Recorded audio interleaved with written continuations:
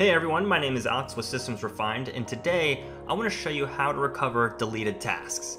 There might be a time where you accidentally delete a task or someone else in your project deleted a task and you just need to recover it. Now, before I show you where it's at, there's actual way to delete a task um, that's recoverable. So if you click on a task and on the top right in the right pane, you click on the three dots and then click on delete task this is a recoverable item. Now, something that is not recoverable is when you uh, delete it this way. Let's say you click on a task and then you just backspace all the way until you delete it. That is not a recoverable item.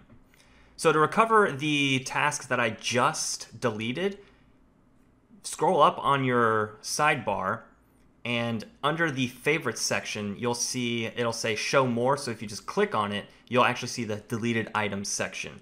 Click on deleted items and it'll show you everything that you just deleted. Now, the one that I just deleted was called analytics. This one here had all of these subtasks or tasks in here, but they were all subtasks under analytics. As soon as I recover analytics, all of these tasks will be recovered as well. If I just click on undelete, that will recover that task and then just give it some time and then eventually there goes. All of them will be recovered. Go back to the facebook campaign and there's analytics. Now i'll show you something else that's a little interesting. If you go ahead and delete the task and go back to deleted items wait for it to populate. Now if you go to the the task and you don't recover this one, but you want to recover some of the subtasks, like say for instance email, you can undelete that, but it's not really um, recovered. It's going to go back under the analytics. So you actually have to recover the main task, not just a subtask.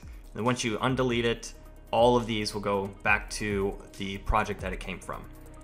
And there, they, there it is. So that's how you recover a deleted task.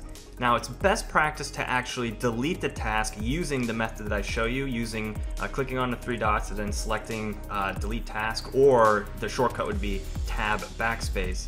Um, that way, if something is deleted and then later on you realize you didn't need it to be deleted or didn't want it to be deleted, you can recover it. Because as soon as you click on the task and then start doing the backspace method, um, it is not going to recover. Well, that's it for today, so go ahead and click on that like button and click on subscribe to see more of my Asana Tips videos.